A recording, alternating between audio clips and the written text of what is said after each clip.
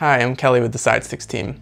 I'm going to show you how to resize the opening in your front or side opening cuffs. The procedure we'll be using involves working with a hot stove and boiling water, so please use extreme caution when working around hot surfaces and hot steam. So a few things you'll need. A pot deep enough to fit about 3 quarters of the cuff, a stove or hot plate, a clock, watch, or a timer, and then, depending on if you're trying to enlarge or reduce the size of the opening, you'll need a piece of something to enlarge it or a belt or strap of some kind to reduce it. I'll demonstrate both. I've got a block of solid foam here, and then I've also got a Velcro strap that I made out of adhesive Velcro.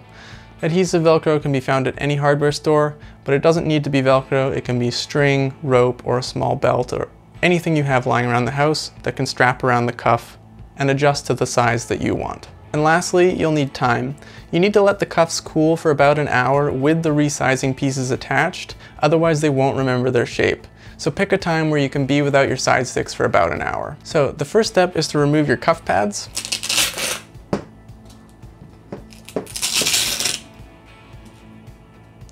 Then fill your pot with water about 3 quarters full.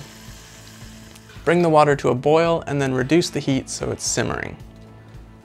And then, one at a time, take your SideStix and dip the cuff about 3 quarters in, but don't submerge the cuff post or the aluminum forearm piece. It's very important that you don't submerge the cuff post, otherwise the cuff post slot can shrink and the cuff hinging action will become very stiff. Hold the cuff in the water for one minute. After the minute is up, carefully remove it and then give it a shake to remove any water droplets. And then either strap the cuff down if you're trying to reduce or put your object in if you're trying to enlarge.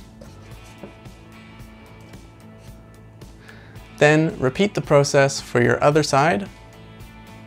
And be careful when doing this because the cuff will be quite warm.